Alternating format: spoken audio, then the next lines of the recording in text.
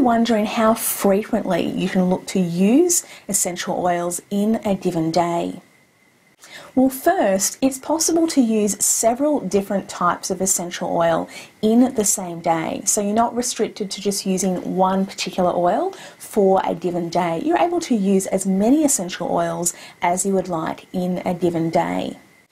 As to the frequency of using essential oils, Personally, I have a morning routine of essential oils that I'll use every morning. And then, depending upon the circumstances I'm facing in a given day and the essential oils that I look to address the different things that come up in my life, that dictates how often I look to use essential oils throughout the day. Personally, in my experience, I've found that for me it works best if I use a small amount of an essential oil on a frequent basis rather than using a large amount of essential oil just once. So I've found that repeated use of an essential oil over time has been more effective for me personally.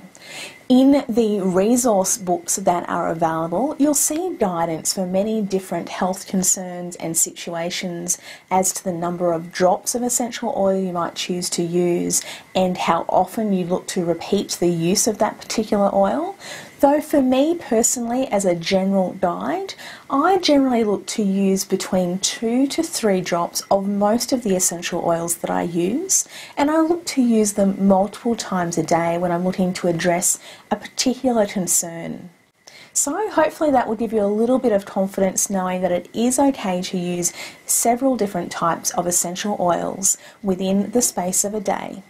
You can also use essential oils and place them over the top of each other or use them within a relatively short space of time. So, for example, I will often use apply one essential oil to my body and then a few moments later I might apply another essential oil on my body. Sometimes it will be on the same location, other times it will be on a different location. So, it is certainly possible and okay to use multiple essential oils in a short space of time.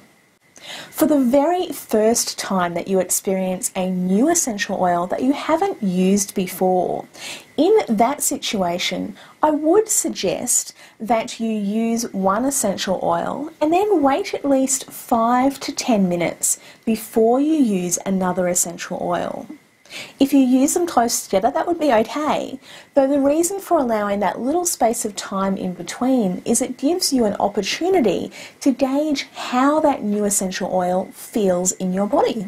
So you can gauge the, the physical sensation, how it, the uh, effect that it has perhaps on your mood or your mind. So it just gives you that opportunity to associate that feeling with the particular essential oil that you've just used for the first time.